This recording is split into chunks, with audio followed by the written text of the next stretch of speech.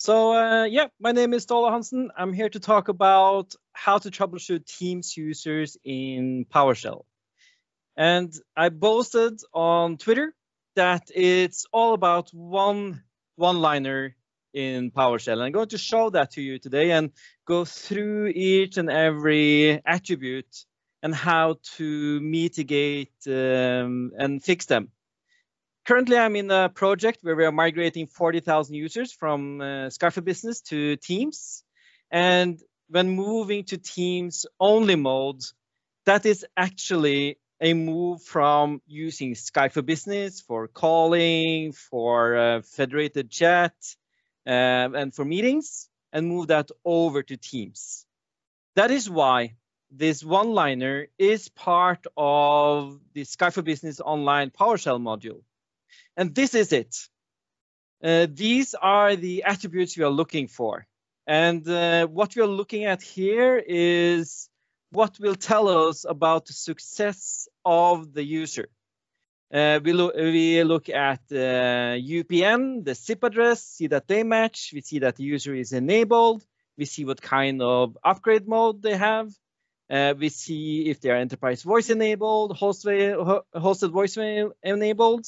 We see city, usage locations for calling, dial plan for calling, uh, online voice routing policy, which way the call uh, routes. We see the phone number. Uh, we see um, if they have um, audio conferencing enabled or disabled. We see Teams video interop um, service policy. Uh, we see Teams calling policy and lots of other policies as well. So you may expand this to look at the other policies you are deploying that are specific per uh, user. Um, we look at the hosting provider, which tells us how the user is migrating. We look at the interpreted user type, and, and this one is magical because this actually tells us the state of the user. If it's a hybrid synced user uh, via um, uh, Azure um, uh, connectivity, and uh, or if it's a pure online user. Um, it also tells us what kind of license you have. So interpreted user type tells us a lot about the user. Uh, we look at the voice policy, which tells us uh, what kind of telephony uh, solution is in use, calling plans versus direct routing. And we also look at the country uh, region uh, so that we know which country the user resides in. Of course, there's a lot of other uh, attributes we could look at, but this is the toolbox I use. This is how I validate users. Uh, this is how I stay sane in this large project. So it's all about the Get CS Online user. And as you see, uh, it's uh, called uh, CS, which actually stands for Communication Server, which is what Skype for Business was called back in the days. It was called Office Communication Server, and then uh, it was, uh, and when PowerShell got introduced, it was actually uh, going to be called Communication Server, but then they changed it to Lync. Last minute marketing, you know. Um, and then this stuck. So that's why we still have it in um, uh, in Business online, in Teams, and so on what happened uh, with the latest version of the Teams PowerShell uh, module is that the Skype for Business commandlets got included in that module. So you don't need to install the Skype for Business Online PowerShell module anymore. We can use the Teams PowerShell module. So let me let me show you. And uh, but before that, uh, I do have a blog post on this. And um, uh, you can look up the one-liner on my blog, msunified.net. So I have that here in uh, PowerShell. So msunified.net, that's my uh, blog. Here you will find the actual one-liner. This is it. This is the one, people. Copy that, have fun with it, and, and get your info. In this blog post, I also explain some of the uh, attributes, what to look for, and how to troubleshoot it. But let's let's dive into this. First off, I'm going to connect, and uh, there is some caveats there as well.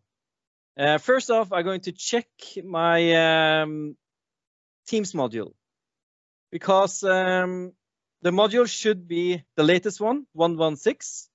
Uh, if it's not, then you can uh, install the current module. And if you use force, it will just overwrite uh, the current installed module. Uh, because with 116, a lot of stuff happened, um, as you know, including the Skype for Business online uh, PowerShell commandlets. And uh, we are connecting to this. We are using modern authentication for that. And there's a reason for why we want to use modern authentication. Actually, two reasons. Uh, one is that we can reuse the token. So we can reuse this in uh, when we connect to Skype for Business. So we don't need to specify username and password. And we can reuse them in other um, PowerShell modules that supports modern authentication. Later in uh, the demo today, I'm going to show you uh, that I will reuse the token that I uh, create now in uh, the Azure uh, Active Directory PowerShell module. So let's connect here. And uh, I'm just going to do the connection, type my password, accept the MFA challenge, and connect. So first I'm connecting to Teams. That's the connect to Microsoft Teams um, line. But then we are going to do the um, connection to um, Skype for Business Online. So, but this is great news.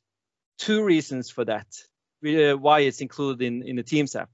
One is that now it fully supports reusing the token when connecting to um, uh, to um, uh, Business Online, uh, reusing the token from Teams.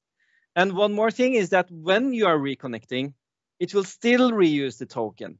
Uh, so uh, that is where we include this enable CS online session for reconnection. But there is one caveat here, which is that this doesn't work actually in the Teams uh, PowerShell module we actually need to go and um, and hack this because you see here this is a PowerShell script that I have stored under temp. Uh, so going back to the PowerPoint. So here's the first tip of today.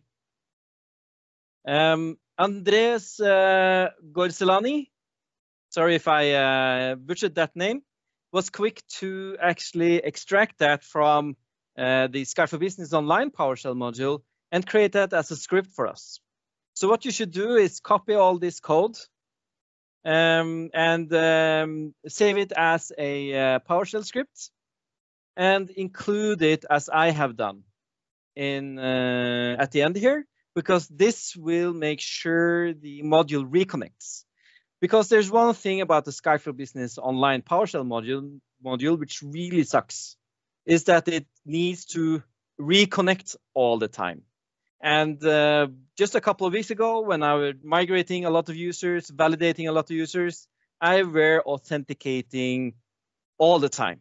And especially if I run this in multiple windows, um, yeah, it was uh, not a good uh, place to be. So here's the one-liner. We run it on my user. This is in uh, my production tenant. Here you see what we get. And this, this is a single pane of glass I need to know the health of my Teams user. Because there's so much information here, I'm going to go through each and every one of them. And again, it's on my um, uh, blog post, msunified.net, and search for Toolbox. This is what I've been using all time. Uh, so there are uh, multiple ways to do this. Is to um, uh, import uh, a batch of users. Um, so here I have two users, myself and my MVP colleague, Morten Hellebro, so that I can easily loop through this and get it for multiple users. This is great, uh, of course, in order to see and uh, compare. But if you're doing this for thousands of users, then um, it uh, uh, you need to do some more uh, stuff. So I created a uh, for each loop for that. And what this one does is, first off, it shows how many users we are migrating. we are um, of course, doing the one-liner, storing that into an array, uh, which we create here, and then get all the attributes. Then I actually include this one, start sleep at 300 milliseconds, uh, between 300 and 400 milliseconds. And the reason for that is that I want to avoid one thing, and that is uh, this one. So um, uh, when it times out, you actually get uh, a timeout, and uh, it try it's trying to connect to the remote server. It's failing uh, because it needs to recreate the session. If you don't uh, actually put a delay in there, it will fail out for tens of users which means that um, yeah, it, it, creates more clutter in your environment, and you may miss out on users in your loop. Uh, so um, that is where you get this recreating a new remote PowerShell session. We want to make sure that happens before we go too far. And this is the great part because with the Teams uh, part, uh, Teams PowerShell module, and uh, the um, using this uh, Skype for Business Online through that, we don't need to re-authenticate. It just uh, uses the same token. It's beautiful. So here you see the uh, the script in action, where I uh, for each 100 user, I just post how many users we have left. And as you understand, it's take if it takes half a second per user, this takes some time. If you have thousands of users to do that and get that info. So uh, that is what is happening here. So for every 100 user, I will post uh, where we are and um, uh, and uh, how many users we have left. This is for sanity, uh, so that you, if it takes hours, you know why it takes hours. So running this, two users, boom. Uh, and then uh, I have it in this variable, which I then export to a CSV because then I can use Excel to um, create views based on this. How many are in Teams only mode? How are, are still in island mode or any other mode? How many are uh, in uh, Norway? How many are uh, have the country Norway but not usage location Norway, for instance, and so on and so forth. So this is a great way for me to validate. Of course, we probably could script this and create an awesome tool I recommend that you try to break it down because each migration is different and each way of reporting is is different as well. So don't overdo it uh, when uh, when doing these kinds of reporting and and doing those uh, health checks um, because this changes and um, um, and it's it's sometimes it's better to just look at it in Excel and you can send over to um, uh, those uh, who you are working for in order to say, hey, these users failed. Is this intended? What kind of users are those? And so on and so forth. And this, people, is how I stay sane during a uh, Teams migration and moving to Teams only mode, implementing telephony, implementing policies, and making sure that the hybrid status is okay, and how many licenses they have and do they have the correct licenses. So first thing we do, validate UPN and SIP address. I have seen issues with this as well. I've seen a lot of issues with each and every of these attributes, and I'm going to go through them now. So user principal name and SIP address needs to match. Uh, it's not that important anymore, actually, as it was back in the days with Skype for Business, because Teams doesn't use your SIP address to sign in. It uses your UPN to sign in. So the SIP address could, in theory, be different, but why would you want that? And also, it should be the same as the email address. What I've seen in some environments is that you have duplicate SIP addresses, which means that multiple users have the same SIP address.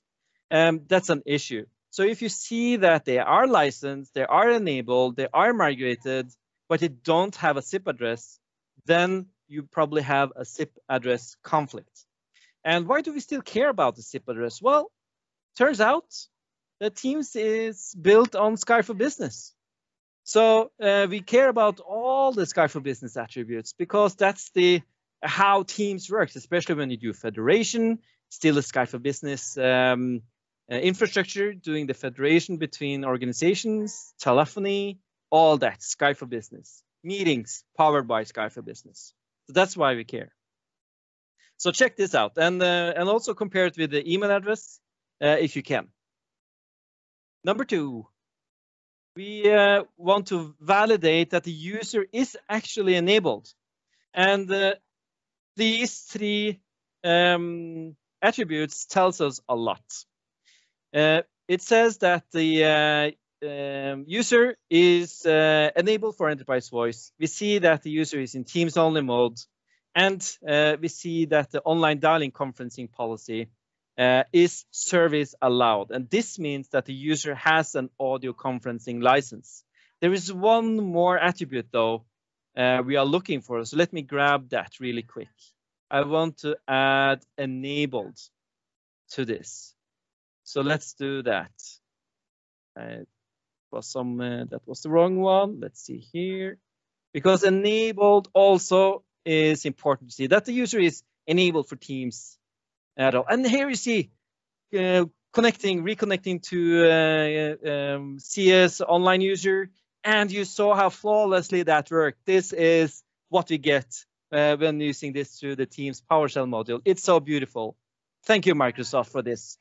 I'm so happy now. Uh, and uh, yeah, here you see user is enabled, but I have seen that this attribute actually can lie to you.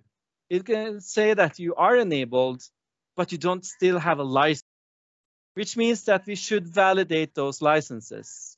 And that happens in Azure Active Directory. So here I uh, use the uh, preview and I connect to Azure AD. And again, re reusing the token and we are signed in. It's uh, it's it's uh, uh, yeah golden golden stuff. So what are the licenses available in the tenant? Uh, so these are the licenses we have in our tenant. Uh, you have um, Enterprise Pack, which is Office 365 E3. You have Power BI Pro, EMS Premium. You have uh, SPE E5. That's one. In, that's one's interesting, and uh, phone system virtual user, and so on and so forth. Um, there is a website for this, of course, to figure out what is what, which you can go into and uh, have a look, uh, where all these are defined. And the GUID is the same across tenants. So if you do this for uh, one customer in one environment, it will work in the next environment as well. Um, and um, here you can then search for the licenses you have, make sure that they have at least an F3 uh, E3 license or an E5 license or even a business premium license or a, a uh, of Microsoft 365 business license, making sure that the users have those. Um, and uh, so the licenses we are going to look for here are these three. Um, Enterprise Pack, Deskless Pack. Deskless Pack is F3, and uh, SPE5 is Microsoft 365 E5. This one is actually um, calling plans with 120 minutes included, uh, which you also have in here. But you're not going to look for that. You're going to look for these three. And um, I can check a single user uh, for this, uh, running this command. And um, uh, by getting the object ID of the user, uh, we can expand and, and look at assigned licenses uh, but I don't currently have the object ID of the user, so this will probably uh, fail. No, it works. I may have done some magic in the background there. So these are the licenses that are assigned. Of course, there are no display names for those, so we need to look for the uh, GUIDs. That's okay, we have them. Uh, so what I do, uh, and this is quick. Uh, this one is so much faster than the Skype for Business Online uh, PowerShell module. So what I do here is I specify the attributes with the um, licenses. Uh, I check for two things, licensed and not available in Active Directory, because you get migration batches from uh, customers when moving over to Teams only mode. And those lists are shit. Yeah, they are horrible. So when you check this, people are not maybe even existing in Azure Active Directory, especially if there are thousands of users in Active Directory, if they haven't done a good cleanup or the source is uh, not the correct one, then uh, this will uh, fail horribly. So let's uh, check that. And um, so we have if uh, user list is uh, zero, because we do the get Azure user and we look at the assigned licenses, and we're looking for uh, the license. If it's zero, then then they don't exist in Active Directory. But then uh, we are looking for that uh, if they are not containing Enterprise Pack, if they're not containing Deskless Pack, and if and if they're not containing Microsoft 365 E3, they are unlicensed and either should be uh, fixed or removed from the migration batch. So, yep, quick and easy. Uh, all users were in uh, Active Directory. So let me show you what it may look like when it uh, in, in a larger environment. So here we see that uh, we have users that are not licensed. Uh, so we um, we uh, capture the email address, store that in a CSV, because then we can in Excel we can do um, VLOOKUP and have the email addresses in one list and have the migration list in, a, in another um, in another sheet. And then we can use VLOOKUP to say, hey, these users should be removed uh, from the batch because they are not licensed. Also, it will throw an error if um, the user doesn't exist. And again, if uh, my attribute was uh, equal null, then it doesn't exist in Azure Active Directory, and then we can specify that as well. Instead of it failing while we are migrating because that could be uh, less fun. Less red when migrating, that's good. All right, that was the licensing part. And uh, next we want to look at calling. And uh, here are more attributes that we are looking for. Um, and uh, here it's for my user. I'm uh, have the city Oslo I want the city to match the usage location, to match the dial plan, to match the country, uh, region, display name. Uh, also, I wanted to match the line URI I have, so it's a plus 47, which is Norway, and also on-prem line URI. And uh, also, if we are using direct routing, I wanted to match a um, Norwegian route that I have for my uh, breakout in Norway. And this could be really difficult to troubleshoot. There could be some discrepancies here, and um, which means that you get the wrong uh, number norm normalizations in Teams. Uh, if you don't have a routing policy, you, won't get the dial pads in um, uh, in Teams, for instance, um, and so on and so forth. This is okay to look at uh, one-on-one -on -one user, but when you have thousands of users and finding out before they make that support case that they are not correctly configured, that's where the essence is. And we also look at the team's calling policy. So if you have a specific calling policy here, uh, this is where you define voicemail, for instance, if it's enabled or not. Uh, because you remember we had that hosted voicemail attribute. It's not in use anymore. So it's not respected. So Azure uh, voicemail is actually configured through calling policies. And what we did, for instance, for Norwegian customers, we had to remove transcripts from voicemail because it doesn't support Norwegian and Norwegian dialects, apparently. And uh, so instead of getting gibberish and sometimes bad words, uh, we disabled transcript, for instance, for Norwegian users, uh, which we added to the calling policies. You want that to match as well. Voice policy is also important. Voice policy shows you uh, if it's uh, direct routing or if it's um, uh, calling plans. So hybrid voice means it's direct routing. If you're assigned a calling plan, it would say business voice here instead. Um, and uh, I believe uh, I also have, if you do the same for uh, my colleague, Morten Hellebro, let's let's do some live coding here. Probably gonna go horribly wrong, but uh, bear with me. Morten Hellebro at cloudway.no. Let's let's see if that works. Yeah, it didn't because I didn't spell his name right. Um, at uh, yeah, and I still have a typo. perfect. That's uh, live, you know. The, now you know it's live. He has business voice uh, for uh, voice policy because he has calling plans in Sweden because they are now launched in Sweden. Yay! But what we see in a lot of deployments is that we have issues. We have issues with usage location. Turns out no one else cares about usage usage location except those working with Teams and dial plans and uh, audio conferencing. Because this dial plan you see here, this, this is the one that is assigned to you by default based on your usage location.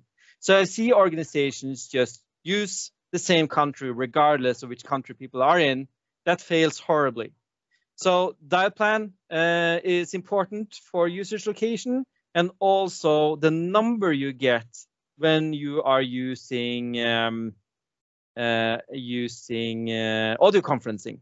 So audio conferencing is uh, you see the number you get in the Teams invite. That's based on the usage location. So I recommend before you enable this is to take a look at uh, the country of origin or city and uh, see if that matches usage location because then it's a higher chance for you to um, do it, get it right with the numbers. Um, and there's one more thing. You have also tenant dial plans. Tenant dial plans is your own phone number normalizations. So, for instance, you deploy telephony within Teams and you want to limit uh, shared phones to dial premium numbers. Then you actually need to normalize and figure out what are premium numbers in Norway, Sweden, US, France, Singapore, and so on and so forth. Who has that knowledge? Well, MVP Ken Lasko got you covered. UCDialplans.com. It's an amazing tool because then you don't need to learn the regex going into making this happen. Uh, it just works. And he has the uh, uh, routes prepared for you. You can even have um, uh, dial plans, voice policies, so that uh, you can assign uh, that some people are local only, some can dial internationally, and some can dial premium numbers. Because if you have um, Teams displays, if you have um, common area phones in your environment, you don't want people to dial uh, out uh, for premium numbers in the evenings or by mistake or, or something like that. So use that. Uh, when assigning policies, you see here we have Teams calling policy, we have online voice routing policy. You have a new uh, commandlet now called uh, batch policy assignment operation. And this takes makes it sure that it takes seconds for you to assign a policy to a batch of users, up to 5,000 users per batch. Uh, so here I'm going to assign um, the unrestricted policy to myself. I already have it though, uh, but this is how long it takes, regardless uh, of how many users you have in this batch. And uh, there is one caveat though, because it takes up to 72 hours before it gets applied. But that's also the case if you do it by using grant as well. Uh, so uh, here you can say, check the status of those batches and uh, it could be multiple types of batches. This is one I did uh, yesterday. It's completed now, uh, but sometimes you may see it takes uh, days uh, before they get completed, but typically they do get completed and you can follow that. And that's why I have the batch name, uh, no, the batch, batch um, attribute here with the users to, to go into the CSV file because I do, I want to um, see what kind of users I put into the batch because you cannot see that in here. Um, so that you can check, hey, are we going, uh, is this happening? Are they part of a current batch that is being worked on or is this a new request? Uh, so the policies can be assigned using this command. So you specify the policy type here. Here you have online voice routing policy. It could have been the um, uh, Teams calling policy, for instance, and so on and so forth. So use that. Microsoft is trying to improve our lives. And uh, this is a way for them to do that. All right, next we're going to look at the location, right? So here we want to see uh, my location, usage location. That happens in Azure uh, Active Directory. Nothing we can do there in uh, Teams or Skype Business Online PowerShell. And we're looking at the uh, usage location uh, attribute. You can also include the country here. Um, if you want to change it, use the set Azure AD user and the correct usage location. So here you need to connect the usage location with the tenant dial plan, with the type of phone number they should have, with the type of um, of um, Teams calling policy they should have, with the type of online voice routing policy, and so on and so forth. Because these could be different based on uh, location. So this is important. If you if you had the wrong uh, usage location and you um, have already assigned a audio conferencing, so they got the wrong number, right? In uh, their Teams invite, they got the Swedish number instead of a Norwegian number, if that was the case. And uh, you know, Swedes and Norwegians, they it's not okay to get a Swedish number if you're a Norwegian or a Norwegian number if you're Swedish. It's like neighbors, you know.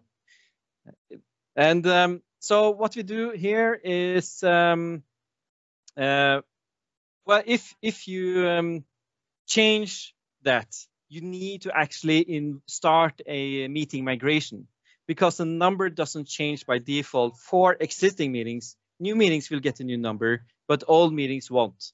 So if you start uh, using the CSEX meeting migration, which is still Skype for Business Online PowerShell module, here you see you're reconnecting. It just works. It's beautiful. And uh, and here, yeah, we want to continue. Thanks. And it ran. Uh, and we can get the summary as well and see how it's going.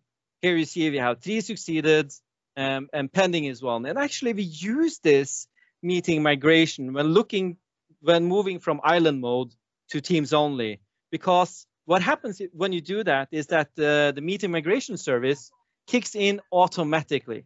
This, of course, requires that you use um, Exchange Online uh, for your email, so it doesn't work for on-prem users. Uh, so that's why you should migrate Exchange first, then move to Teams only mode if you can, uh, because then the meetings get updated. So we actually use this succeeded number here to count how many users we have migrated. Um, and uh, that's that's actually a nice way to to get that status. But here you can see that it's in progress probably soon. Um, and it may actually take up to three hours. Last night it took uh, 30 minutes uh, but uh, it may take, take up to three hours before this process starts. Be also aware if your users have a lot of meetings that are going to be changed, new updates to those meetings are being sent out uh, to attendees. But there is an update to the meeting. You have a new number, right? So that's why. All right. I haven't gotten any questions yet, so I'm uh, gunning on. And uh, let's look at hybrid identity and hybrid Skype for Business. This is a fun one. And this is where the magic happens. Because we're looking at hosting provider. Hosting provider here, you see it's sipfed.online.lync.com. And this is important for federation. Um, because if this is not uh, populated correct, then um, you are still on-prem and federation won't work for you. Uh, also interpreted user type, and this is the magical attribute, people. Here you see I'm pure online, Skype for Business user with Teams license. Actually states that I have a Teams license. And this is actually something I discovered last night um, because I think it's quite new uh, that it actually states that. So I need to double check that. Uh, so we can actually use that to um, uh, verify the license, but the Azure commandlet is so much quicker. So I'm still probably going to use that, but it's good for reporting anyway. So after each migration batch, I actually go in and run get CS online user for all users I have migrated to see the status of the migration, to see that if you had someone that failed to migrate, that uh, did have the wrong hosting provider, and so on and so forth. So let me show you what it looks like when it doesn't work. Um, so if it failed, uh, it would state that hosting provider is SRV colon. SRV colon means that uh, my uh, hosting provider is on-prem. And there could be multiple reasons for that. You were unable to update the attributes in, uh, in um, Active Directory, or this is populated and synced out. Um, and you then remo you removed Skype for Business Server, but the attribute is still there. Um, then Federation will fail for you. Also, you see here hybrid on-prem SFB user with Teams license. Again, Teams will work and all that, but you will have federation issues and some other issues as well. This is what it looks like uh, when it's super awesome. And this is what it looks like when you haven't migrated yet. Hybrid on-prem SFB user, SRV, you haven't been migrated yet. Um, you probably are not in Teams only mode, or if you are, that's uh, that's also a problem uh, because then you will have federation issues because the user is still on-prem um, and so on and so forth. So uh, this is from on-prem user, uh, online user that works, online user that doesn't work. All right. Um, Andres has another blog post that I heavily refer to because interpreted user type, pretty much not documented by Microsoft. So he did that. Um, and he has a comment on all this, what they mean. And it's a great source for troubleshooting. Pure online, no service means you don't have the license. Pure uh, online, no service with deleted licenses. He had license but removed, uh, lost them. Hybrid online, disabled user, user is disabled. Thank you for notifying me that, and so on and so forth. This is beautiful stuff, right? Um, so use that blog post to do that. And um, uh, yep, and a shout out to Andres uh. Gorzelany, probably. He is uh, from Argentina. And uh, great blog post on that. I refer to it as often as I can. All right. Uh, so if you want to clean out the attributes on-prem because you are you have migrated, you don't have Skype for Business anymore, servers are gone, and but you still have the attributes. Well, you can clear out the attributes by using get AD user and um, uh, clear out the MSRTC deployment locator, which is the um, uh, which is the hosting provider. Uh, or you can clear out all the attributes uh, for all users. So here's a loop for you. This is a hack. So I need to actually create a variable with the principal name because if I use this, it just uses the full CDN name, which then breaks the whole thing. But here we clear out all RTC, uh, uh SIP uh, attributes, which is the phone number, SIP address, uh, deployment locator, what kind of server you belong to, and so on and so forth. I'm currently not connected to um, uh, an on-prem environment, so I can't show you. Right. And um, trying to round, round off here, uh, here we actually are uh, looking at all the users that still have SRV as deployment locator because that makes uh, makes them fail spectacularly to only changing those and not like everyone. Uh, line URI, uh, it's the phone number that you have for um, this. There's multiple ways to do that. For direct routing, you set it using the on-prem line URI enterprise voicemail enabled. Sometimes you have the line URI, but they are not enabled for enterprise voice. Then they won't get the dial pad. Uh, if you're unable to set this, this means that the MSRTC SIP line is still populated in Active Directory. So you need to clear that out. Or you can actually work with phone numbers on-prem. It's faster actually. So we're actually doing that in this 40,000 user project. We're going to use numbers uh, locally instead. Uh, so we are populating the MSRTC SIP line and then it will sync out, which means I cannot edit it online because it's synced out on-prem. So this is the way I need to manage it. Or if you have calling plans, then you uh, manipulate the line URI, not the on-prem line URI, but the line URI. All right. So to sum up this one-liner, people, this is how you stay sane when moving to Teams only mode. It tells us so much about the user. And before the tickets start uh, coming in, then uh, you uh, can actually start mitigating a lot of actions and informing users, hey, you weren't migrated, migrated correct or enabled correct. We are working on it and so on and so forth. This is, yeah, that's why I'm so sane, right? So this is actually something I write about. Uh, I write the uh, calling and meetings chapter, and, and all these tips and tricks I talk about in this book. And there's a quote If you're not using this book, Office 365 for IT pros, uh, to stay top on uh, Teams and Office 365, you are missing out. Quote myself, because I use this book when I need to look at what Tony Redmond writes about, uh, or what what Gustavo Vélez writes about, because they talk at the same time as me right now. Uh, I look at this book because it's updated monthly with uh, new content every month, and we tune it. And because Office 365 is changing all the time. Also, I want to plug my latest blog posts because you can use uh, Power Automate to set yourself in in Do Not Disturb and focusing mode in Teams. It's beautiful. Thank you uh, for spending the time here today and uh, checking out my session. Thank you, Ståle, for this presentation and all your demos. Always great to follow your sessions and amazing what you can do, right, with only one PowerShell one-liner. Um, I have no questions in the chat, but if you have any questions, please, please uh, put them in the meeting chat or raise your hand and I will unmute you. All right. While we wait though, uh, Magnus, do you have any experience with this?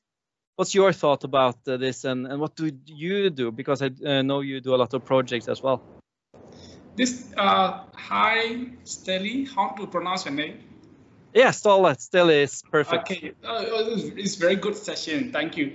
Uh, Thank you. I was very much interested. Uh, I used to I used to do that uh, for a few deployments uh, using some script, but uh, but the, your session is very good. Uh, you you organize everything very nicely and then put it in very like uh, step-by-step thought process procedure. It's very good. So thank you. Uh, thank you. I hope you publish the script so that we can do some like customization at our end to deploy in our environment as well. Very good.